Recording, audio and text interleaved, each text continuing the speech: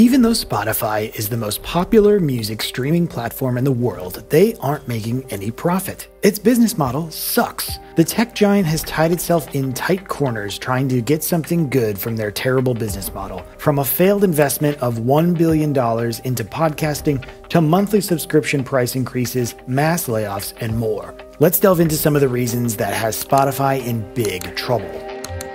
Before Spotify was launched, music piracy was the dominant force. An empire of illegal downloading and piracy was built thanks to the peer to peer sound file sharing capability provided by LimeWire, Napster, and many similar platforms. The mainstream music industry was unable to keep it under control. Luckily, by 2006, Spotify was launched with the sole purpose of dealing with piracy. Spotify offered users a basic limited music catalog for free and made it as easy as pirating. The only difference this time is that the artist would get revenue from each stream. But a freemium is only as good as the revenue model to back it up. For revenue, Spotify's free users can stream unlimited amounts of music on their desktop, but need to listen to ads every once in a while. However, they can easily upgrade to a premium subscription to get the full Spotify experience. But since Spotify saw itself as the legal alternative to piracy, they needed to license the music from the big three labels in the industry Sony, Universal, and Warner. Spotify agreed to pay $200 million, or 75% of their total revenue,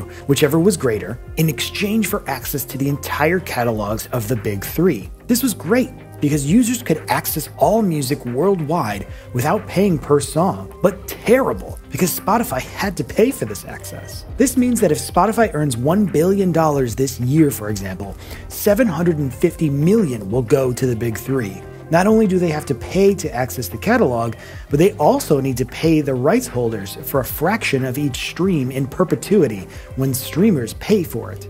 And let me tell you, the cost structure is absolutely insane. As of 2023, Spotify pays artists between 0.003 cents and 0.005 cents per stream on average. This can vary depending on the streamer location in the world. That works out to an approximate revenue split of 70 30. So that's 70% to the rights holders and 30% to Spotify, which in turn goes to operations, expenses, and salaries, practically leaving nothing for profit. These royalties go to the rights holders regardless of how many times you've streamed the song. In other words, the more songs you stream, the more Spotify has to pay. Some might argue that paying so little per stream to the artist doesn't seem like much, especially considering that Spotify is infamously known as the platform that pays artists the least. And considering that they boast over 551 million active users each month out of 220 million are premium, that's a lot of money flowing in, while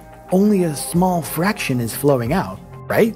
Well, that's not entirely correct, no. Spotify has close to $10 billion in royalties since its launch in 2006 and has achieved its first ever profit in 2019. Let's compare this to Netflix, for example, which also relies on a pay to play business model. Netflix produces its own shows and movies, which, as you can imagine, costs a lot up front. They need to pay actors, directors, editors, everybody. However, once these shows and movies are out, they don't need to keep shelling out money.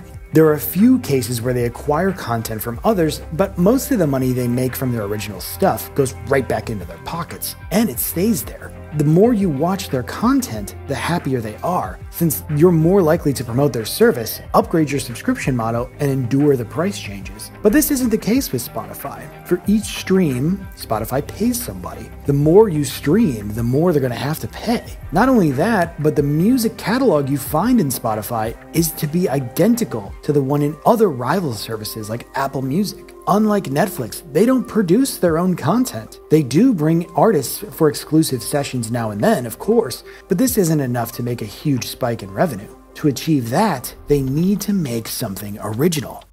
You see, Apple has always been the company that mattered in the podcasting world. Spotify, on the other hand, didn't support podcasts until 2015. Initially, their foray into podcasting wasn't particularly earnest and remained so until 2019. Spotify soon recognized the booming growth in podcast popularity and pledged to invest about a billion dollars to build their empire. This decision was well justified, as approximately 33% of Americans now tune in to podcasts at least once a week, which is an all time high. Moreover, monthly podcast downloads worldwide increased from 111 million to 125 million. Furthermore, podcast listeners, when compared to the consumers of other media forms, tend to be younger and have higher incomes. The podcast industry is experiencing a boom in advertising revenue, fueled by the fact that 30% of listeners fall within the 12 to 24 age group, and nearly half of them earn more than $75,000 annually. It only makes sense for Spotify to capitalize on the growth opportunity here. They already have a large audience listening to podcasts, but they wanted to go further. To do so, Spotify has went on an acquisition spree with a budget of up to half a billion dollars set aside for podcast acquisitions in 2019. Spotify had decided to spend 400 million dollars of that budget buying Parcast, Gimlet, and Anchor. They made deals with the Obamas, the Kardashians, Meghan Markle, Prince Harry, and the biggest podcaster in the world, Joe Rogan. It spent up to $250,000 every single episode to entice new listeners around the world and around $290 million on podcast studios. Simply put, Spotify wants to become the premier podcast platform. It's worth noting that no other company worldwide has made such a substantial bet on podcasting. However, the payoff hasn't materialized as expected just yet.